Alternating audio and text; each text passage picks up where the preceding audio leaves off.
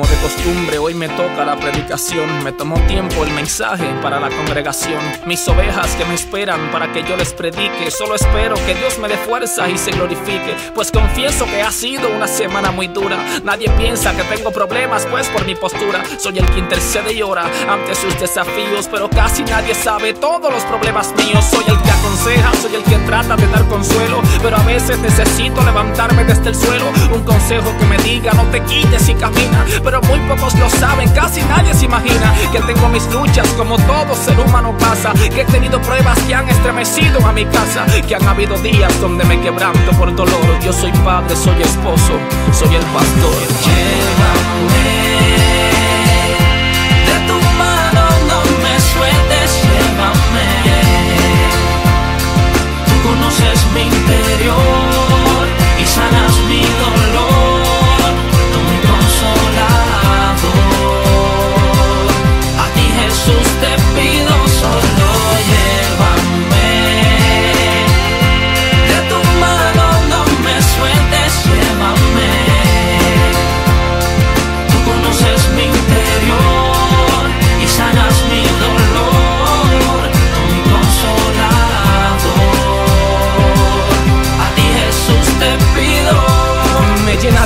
Ver cómo se restaura la gente, pero yo sería nada si no fuese por la fuente que me inspira y me anima a seguir esta jornada. A pesar de las heridas, calumnias y puñaladas, que daría la vida para que mis ovejas no mueran. Pero nadie espera que a espaldas te acusen y te hieran, que te busquen y mirar cómo se vacía otro asiento. Pero nunca me preguntan cómo estoy, cómo me siento, aunque sé de tantas cosas que me causan dolor. Cada día, cada noche trato de dar lo mejor. Busco dirección a través del mensaje de la Biblia y trato de hacer balance entre la iglesia y mi familia. Pero Dios, mi fortaleza, me anima desde el cielo y recibo fuerzas cuando estoy postrado cara al suelo. Solo Él conoce las cosas que pasan en lo oculto y sin Él sería en vano predicar en otro culto. Llévame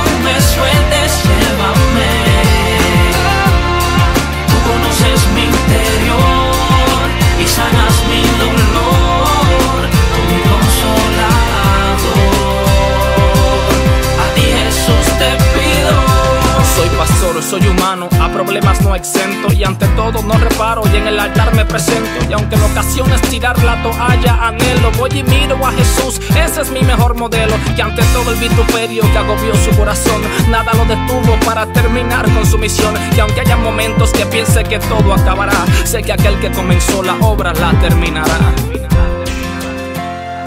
Honro la vida de todos esos pastores que dan la vida por sus ovejas y a veces no se les reconoce. Honro a mi pastor y espero que tú también honres el tuyo. De la A a la Z, Alex Zurdo.